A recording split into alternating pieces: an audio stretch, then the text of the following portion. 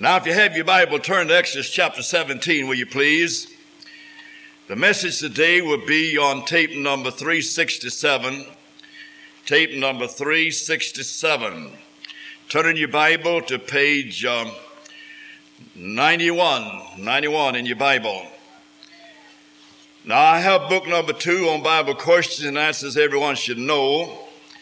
And on page uh, six of this book, you'll have the answers to these questions. This is book number two. Where did God command that the pictures of the people be destroyed? What giant in the Bible had a bedstead over 12 feet long and about six feet wide? Well, Jesus related to John the Baptist. What prophet of the Lord called for thunder and God gave it? What man's eyes were enlightened when he tasted of some honey? What man in the Bible said there was only a step between him and death. What man played off insane because of fear? How many verses do you find in the Bible? What man in the Bible was brought back from the dead and told the king that he and his sons would be with him on tomorrow? What man stole the hearts of the men of Israel by kissing them? Who said he would take ropes and pull a city into a river? What king in the Bible, his people told him he's worth 10,000 of them? What man killed a lion in a pit while snow was on the ground? What navy sent his ship once every three years and brought it king apes and peacocks? These questions you find answered on page six of book number two. If you'd like to have this book, you can write in and send a gift of $2 or more. We'll send it to you. If you'd like to have all five of my books on Bible questions and answers, request the five, send a gift of $10. If you'd like to have a list of our cassette tape, you can write in for a list. We'll send you a list around 350 or more. We'd like for you to get the list. Might be some selections you'd like to have. Remember, this is a faith ministry. I depend upon you that love God to help keep the program on the air. Now, the tape we sent out are $3 each, and what you give is used to help take care of our radio expense. I'm so responsible for this hour on Sunday and paying the bill and it is a faith ministry, so I look to you that love the Lord to work with me in getting out the gospel. So you pray for me and write to me next week. My mailing address is Virgil Edwards, P.O. Box 501, Athens, Georgia 30603 is the zip code number. I want to say we deeply appreciate Paul and Fran Strickland providing the platform in time of bereavement in our church family. They do such a wonderful job and we hear so many good reports of the fine food they provide an occasion like this, and that's out of the business over there in Danielsville, Paul and Fran's restaurant. Now, you're talking about old fashioned country eatings. That's where you get it. Good old string beans like my mother used to cook in a big black pot with some good old fat back in there. And I'll tell you, cobbler, peach, apple, uh, chicken, fish, whatnot. I, I've never been in a restaurant where you find the old fashioned cooking like you find that Paul's and Fran's in Danielsville. A lot of other good restaurants around, but I'm talking about the old country style, kind of grew up on. The a lot of people like that. If you've never paid them a visit over there, drop in and see for yourself, and I guarantee you go back. Used to serve some good old chitlins, but they backslid on the chitlins and not serve them this year. Maybe they'll get straightened out and serve them next year. But anyway, I recommend it highly. All right, I want you to pray for us, write to us, stand by this home mission work. Hope you found your place in the Bible. I was reading about this preacher up north. He's going to his church evidently in the snow and kind of elderly and slipped up and fell. Little girl came by and trying to help him up he said to her, said, honey, said, you, you can't help me up. Said, you're too small and I'm too heavy for you to help up. Oh, yes, she said, I helped my daddy up three or four times and he's a lot drunker than you are now. And so she had faith enough to believe she could get him up from there. All right. I hope you found the place in your Bible.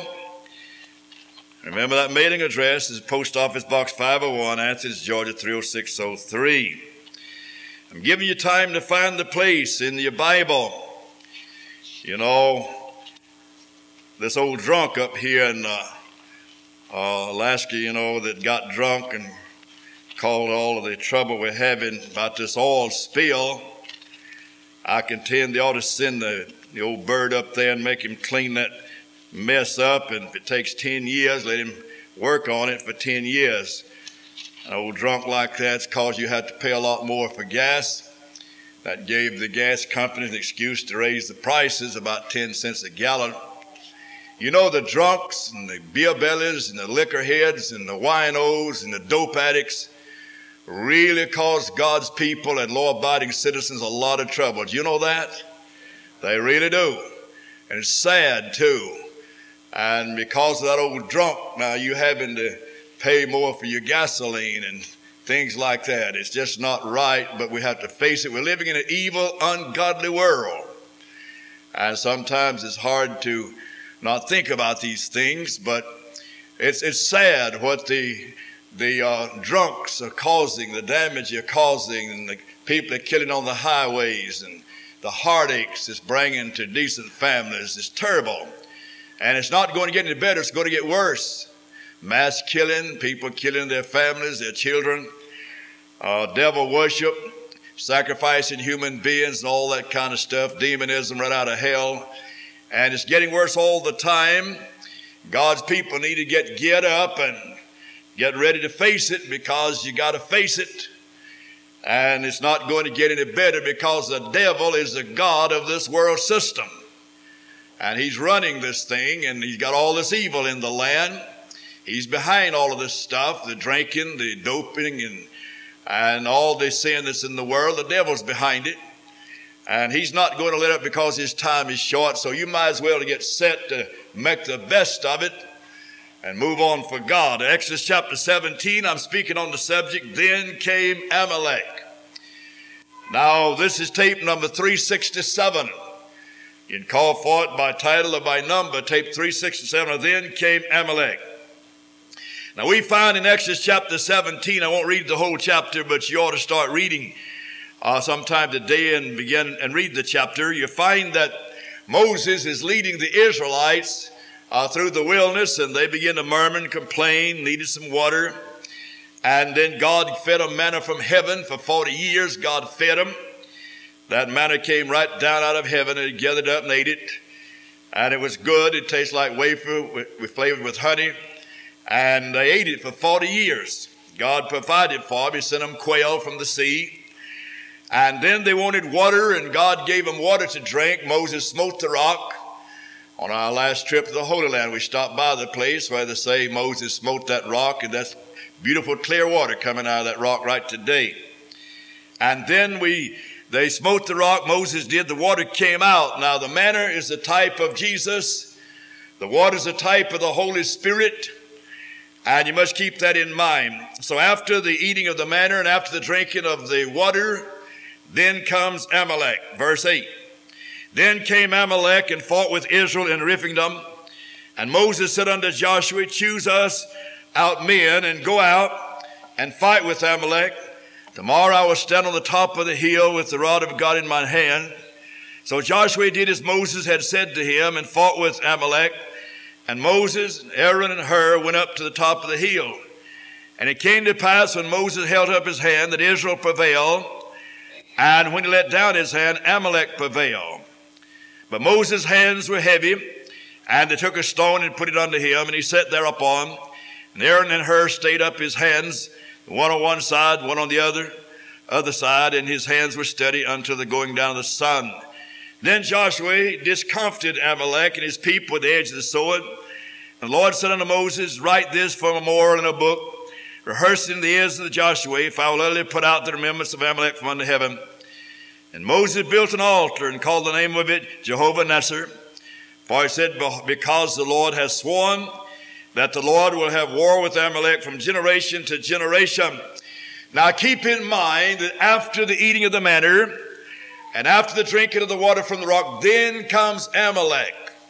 Amalek is a type of the flesh. He's the descendant of Esau, one of the grandsons of Esau, a man after the flesh, according to the Bible.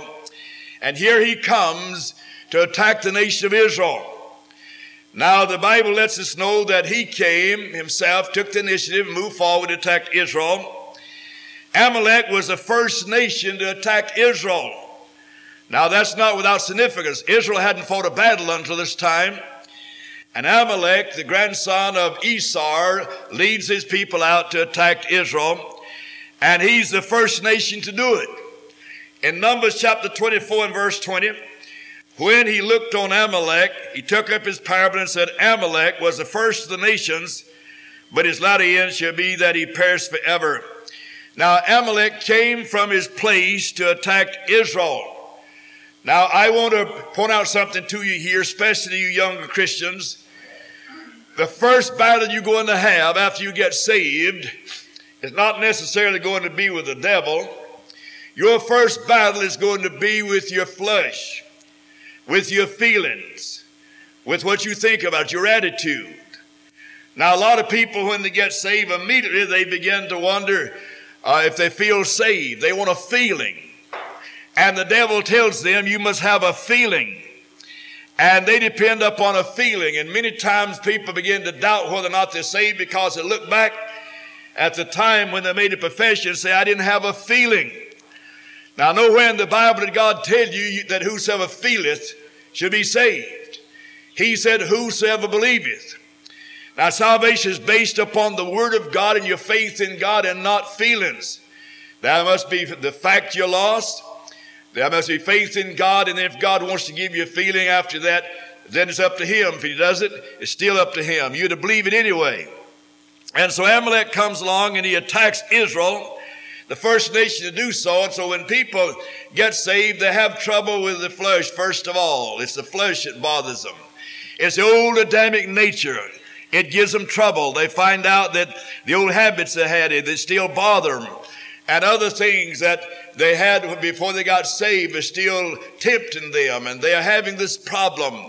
Now that's Amalek. Amalek is not going to let you rest. He'll trail you until your dying day. Now, notice the time element in this attack. It was after the drinking from the rock. Now, he didn't bother them until they uh, drank from the rock. Now, that rock is a type of Christ, that water is a type of the Spirit of God, and the devil is not going to bother you until you drink from the rock, or until you eat the manna, or until you accept Christ. After that, here comes Amalek. And the devil didn't bother me before I got saved. I went ahead and did what I want to do. And you did too. But after you got saved, here comes Amalek, the flesh, pulling on you, battling against that inner man in you, battling against the Spirit of God. You have a, a constant battle taking place. Now the Bible says in 2 Peter chapter 1 and verse 4, whereby are given unto you exceeding great and precious promises, that by these you might be partakers of the divine nature. So when you got saved, God came in you in the person of the Holy Spirit and therefore, there's a conflict, there's a battle going on between the flesh and the spirit, and that'll continue to do so as long as you're in that body. Now, you have a movement today that teaches error. Uh, they tell you you can ha- be completely sanctified and annihilate, annihilate the old Adamic nature and never have any more problems. Don't believe a word of that. They'll tell you that, but they're having plenty of problems themselves with the old Adamic nature, you will too as long as you live. Don't kid yourself. Now, Amalek was the first then to attack Israel. And if you go to Romans chapter 7 and read chapter 7, you will find that one of the greatest preachers that ever had a terrible battle with himself. Now, your biggest problem is with yourself. It's not necessarily with the church, or the preacher, the deacons, or your husband or your wife, it's with yourself. You have your biggest battle with yourself. That old Adamic nature that you're dragging around, the old man that's hanging on to you, that, that's your battle right there. And Amalek then attacked Israel, and Paul in Romans chapter 7 said, I 32 times. I, I, I, I, I, I. There you find that uh, personal pronoun uh, 32 times. Paul's showing you there that you still have that Adamic nature and you will have as long as you live. He'll never be annihilated. You'll never get to the place where you won't be tempted by the flesh. You'll be tempted as long as you live. Now, you can go to sleep on the job, quit doing anything for God. The devil might let you rest a while. But if you ever raise your head up doing anything for God, here he comes. Amalek comes right along. In Galatians chapter 5 and verse 17, for the flesh lusts against the spirit, and the spirit against the flesh, the Bible tells us. And so after the drinking from the rock, after eating of the manna, after crossing Jordan, Israel was engaged in combat against the giants. They didn't, they didn't face any giants in the wilderness. Uh, but after the crossing of Jordan, which is symbolic of the filling of the Holy Spirit, they faced those giants. Now, when you get filled with God's Spirit, when you completely surrender to God and give up everything of this world for God and begin to serve God, here comes the giants. Now, the giants won't bother you as long as the flesh can take care of you. There's a lot of church members, the devil never bother them, let the flesh handle them. They can't overcome the Adamic nature, let alone face the devil. And the, the, devil doesn't waste his time on them. He just lets the old Adamic nature handle them. They'll take care of them all right. And he knows that. But there's times when he wades in, when he sees they're about to get the victory, do something for God. Now we notice that Israel overcame Amalek, but they had to do it in a way that we too can overcome Amalek, the old flesh. Now let's notice how they did it. The Bible said they upheld Moses' hands, verse 11. And it came to pass when Moses held up his hand that Israel prevailed, and when he let down his hand, Amalek prevailed. Now, when this army came attacking Israel, then they went to the top of a hill, and Moses stood there and took the rod of God in his hand and held that rod up. And as long as he held up the, his hands with that rod in his hand, then Israel prevailed. But when his hands grew heavy and tired, began to let down his hands and the rod of God, then the Amalek prevailed. And then we find that, that Hur and Aaron came, and one got on one side and one on the other, and they took Moses' hands and held them up until they won the battle. Now we know Hur means light, and Aaron is the high priest, so in the in the light of the, the high priest, our Savior, the right hand of God, and the light of God's word will overcome the old flesh. That's the only way to do it. Jesus is our high priest. We yield to the inner man through the light of God and the strength of God's Spirit. That's the only way you're going to down the old Adamic nature. Bring him under subjection, down him, bear his nose in the sand, and determine to die out daily and serve God. That's the only way it can be done. Because Amalek's going to trail you and trail you and trail you as long as you live on the earth. But he can be defeated, not annihilated, but defeated, defeated. Now Moses' hands were heavy and they held him up and prayed and they overcame. The Bible said, uh, he spake a parable unto them saying that men ought always to pray and to faint not. And verse 13 said he used the edge of the sword. Now while uh, Aaron and Hur was holding up his hand, then Joshua was down in the battle, in the, in the field battling, against the enemy with the sword. So while you're praying in the light, looking to your high priest to help you, the Lord Jesus, then you must remember that the sword of God's Spirit is needed to battle the enemy. And the Word of God is the sword of God's Spirit. So you need the help of the Spirit of God. You need prayer. You need the Word of God, the sword of God's Spirit in order to get the job done. In verse 12, Aaron and Hur stayed up his hands, one on one side one on the other. Now, if you notice, our next thought is this Joshua did not destroy, but discomfited Amalek. Now, when Joshua went down and engaged this army into combat and using the sword, and Moses up on the hill, and the upholding of his hands and the prayer to God, then the Bible said he discomfited Amalek. He didn't completely destroy him. In verse 13, and Joshua discomfited Amalek and his people with the edge of the sword. Now, the old man will never be annihilated. That is, destroyed as long as you're alive on earth. You got him, and you'll drag him around as long as you live. You must remember that, and you're going to have a battle with him as long as you live. Now, some of you, you know what the flesh said to you this morning? Well, you might as well stay at home and and just have uh, lunch ready for us and dinner ready. We'll go on church, and when we get back, then uh, uh, be ready. And, uh, and uh, some of you almost done that. You almost listen to the flesh. Some of you may have. You listen to the flesh. You stayed at home when you ought to be in God's house. The preacher had the table set for you to feed you spiritually, but you're more concerned about feeding your own belly than you're feeding your own soul. And so you stayed at home to cook and to eat and to carry. You listen uh, to the flesh, the old Adamic nature. And he'll never be annihilated. Some of you said, well, I worked hard last week and I'm tired. I think I'll just go ahead and rest today. Yep. That's what Amalek said for you to do. Just rest. Stay in the bed backslide on God, forget about the house of God and the things of God, and there'll be a few there to take care of the situation. Just sit at home. Some of you sitting out there now, you listen to Amalek. You ought to be in God's house, you know that, but you listen to Amalek, and you're going to pay for it. It's going to cost you, certain as the world. The old man is never annihilated. In Galatians chapter 5, verse 17, for the flesh lusts against the spirit, the spirit against the flesh, and these are contrary the one to the other. Paul said in Romans chapter 7 and verse 23, For I see another law in my members warring against the law of my mind. Now, if you read chapter 7 of Romans and see how many times Paul said, I, I, I, what I wanted to do, I didn't do, and I found myself doing what I didn't want to do, and so forth, so on. Now, you ought to read that. Paul is talking about he had a battle with himself. He had a battle with Paul. Paul's biggest problem was Paul. He, he was having a battle. At that particular time when they saved, he thought when he got saved he'd be on the mountaintop all the time. No, sir. No, sir. When you get saved and maybe filled with God's Spirit, you shout the victory, but you're not going to stay there. Old Amalek is coming after you, and he's going to give you a battle. And he'll give you a battle as long as you live. The older you get, the more you, trouble you're going to have with that old body of yours. You're going to get full of aches and pains, and you're going to have um, uh, bulges and bifocuses and bunions and whatnot, and and you're going to have problems with that old body. You're going to have uh, the backache and feet ache and the headache, and well, you're just going to have a. Ba- older you get, the more that old uh, body is going to give you trouble.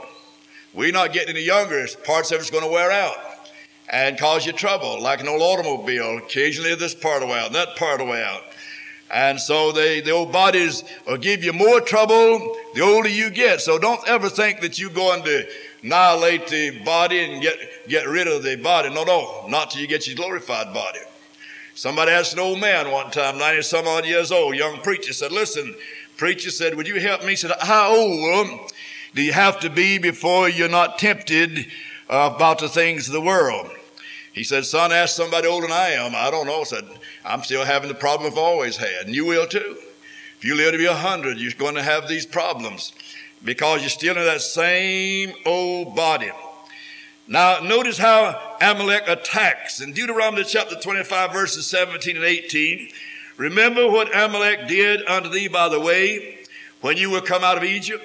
How he met thee by the way and smote the hinder part of thee, even all that were feeble behind thee when thou wast faint and weary, and he feared not God.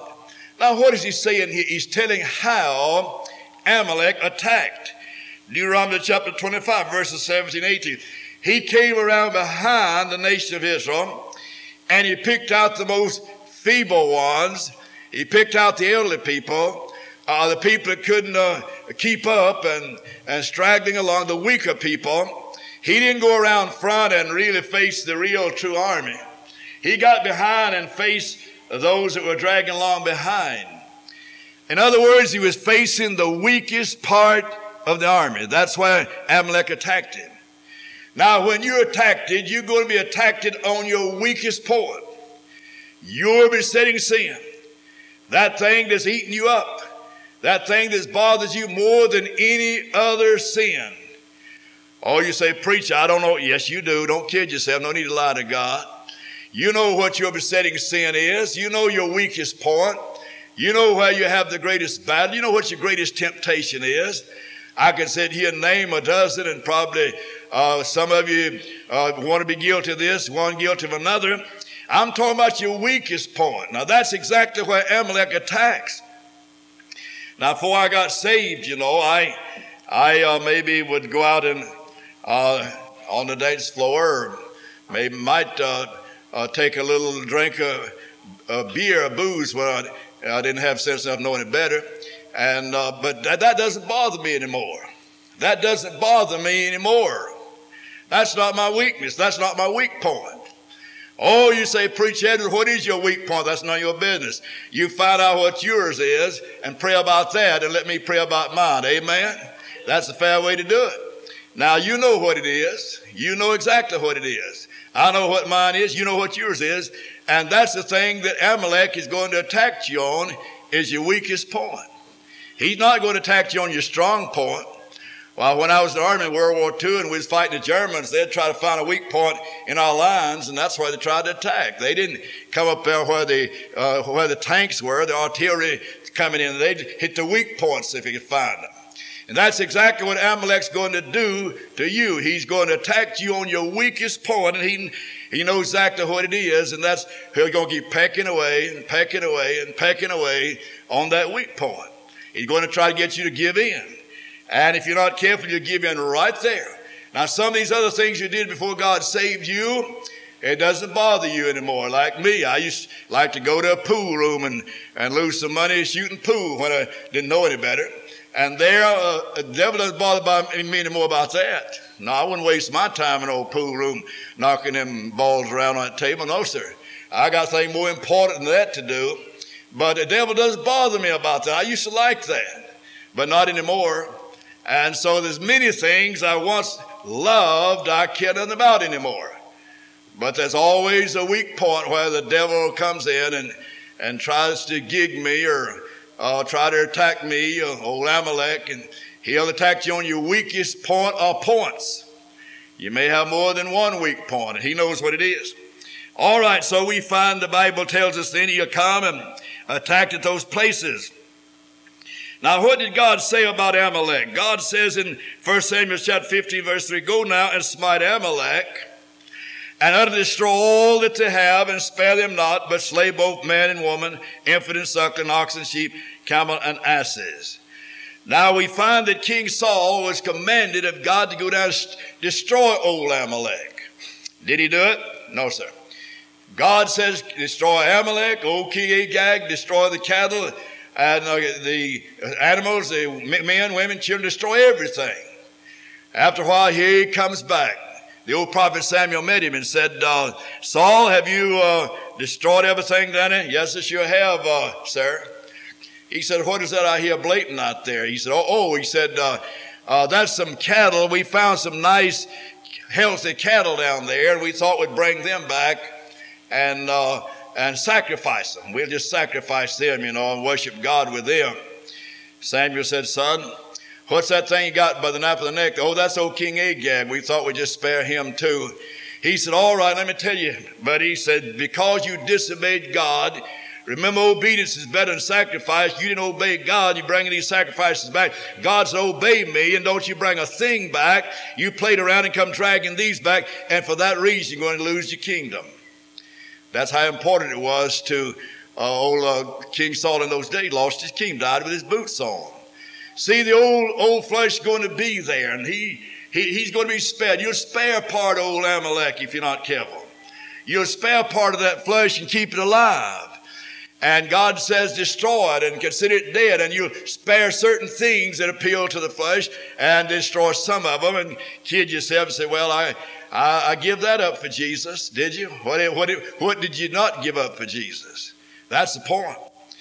And the Bible tells us in uh, 1 Samuel chapter 15, verse 9, but Saul and the people spare Agag, and the best of sheep and oxen, the fatling, and the lambs, all that were good. And God told him to. So you can't play with your flesh. That's um, uh, that old Adamic nature. You can't play with it. It's like a rattlesnake. It'll bite you. Uh, you got to kill a rattlesnake or that thing will bite you sooner or later. In Galatians chapter 5, verse 24, and they that have Christ have crucified the flesh with affections and the lust. So you must remember that you got to do that in order to make it. A man one time jumped all over me. I was preaching over in a home in Greenville, South Carolina on Paris Mountain in an institution there, a sanatorium, where people went there with tuberculosis. And we spoke through a sound system and went down into the wards, and after we preached, it's my duty and my responsibility to go every Thursday and preach. And that I did, and we'd go down and do personal work.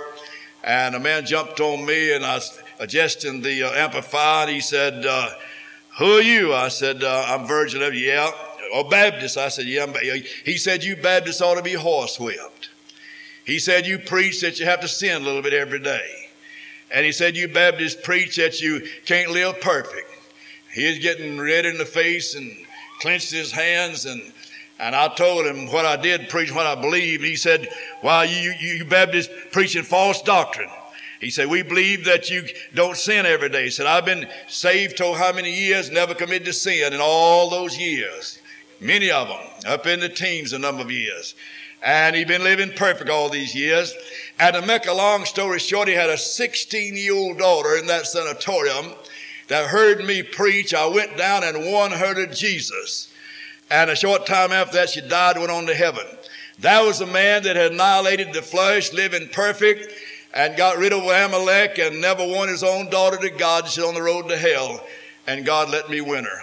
I'm glad he did. He was deceived like a lot of people. The Bible says God will utterly destroy Amalek, but in due time. In Exodus chapter 17 and verse 14, and the Lord said unto Moses, Write this for memorial in a book, rehearse it in the ears of Joshua, if I will utterly put out the remembrance of Amalek from under heaven. See, that's coming a time when God is going to destroy Amalek completely. And that's when you get your new body. When you get that glorified body, you say, Goodbye, Amalek. You devil, you've been giving me fits for a long time. I've been dragging this old carcass around all these years since God saved me and it's given me a lot of trouble, but I got a glorified body now. And you won't be bothered with that Adamic nature anymore. But until that time, you must realize that the Adamic nature is there. Only through Jesus can you overcome that Adamic nature. And yielding to the Spirit, you walk in the Spirit and not in the flesh. But the moment you let up, you quit going to church, you quit praying, quit reading your Bible, you quit giving of your tithes and offerings, and there you're headed downward again. That gives Amalek a chance to come at you and do what he can to destroy you. But as you yield to Jesus and do what you can for the glory of God, God will help you. We find in the Bible that old man Jacob came to his deathbed pulled his knees up in the bed to give up the ghost. Joseph came along with his two children. He came along and said, uh, uh, I want to bring my two children before you, Dad. I want you to bless them. And so he brought uh, Manasseh and Ephraim, brought them up to put them in front of his dad, that his dad might bless them. And always customary to bless the elder before the younger. And when uh, the old man lay in the bed just before he died, he there Joseph brought them two boys up, Ephraim and Manasseh. And there Joseph, knowing Manasseh was the oldest, he put him on Jacob's right hand. And Ephraim was the younger, he put him on his left hand.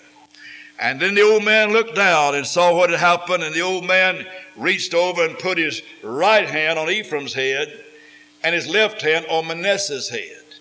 Uh, Joseph said, Daddy, you, are wrong here. Said he tried to take his hands and and uh, put his left hand on the other head and his right hand on the, and uh, Jacob said, no, no, my son, no, no, I know what I'm doing. And there he kept his hands crossed and put his right hand on Ephraim, his left hand on Manasseh, and formed a cross. And the younger became the inheritor of the blessing, and the elder lost out Manasseh. See, it's through the cross. See, the old man's hands was crossed. It's through the cross that you defeat Manasseh and gain Ephraim.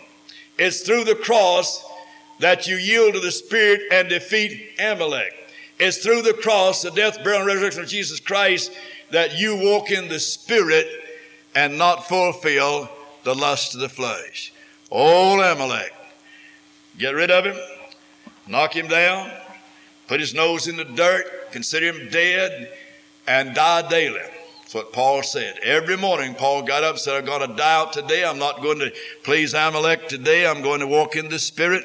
And he died daily. And if you don't walk in the Spirit, you're going to follow Amalek. Stand our feet.